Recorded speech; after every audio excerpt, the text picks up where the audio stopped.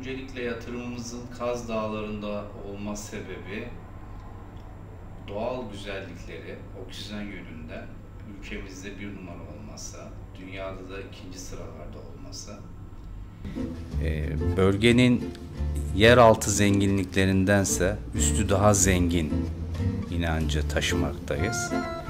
Bu inançla birlikte çevreye ve doğaya uygun frame house evler inşa ettik. Çevrecilerin de dikkatini bu proje çekti ve onlar da bu projeyi destekliyorlar. Dönüştürülebilecek materyallerle inşa ettik. Taş, ahşap gibi. 14 dönüm üzerine kurulmuş bir proje. 14 dönümün içerisinde 10 tane frame house inşa ettik. Çok iç içe olmadı. Geniş, ferah.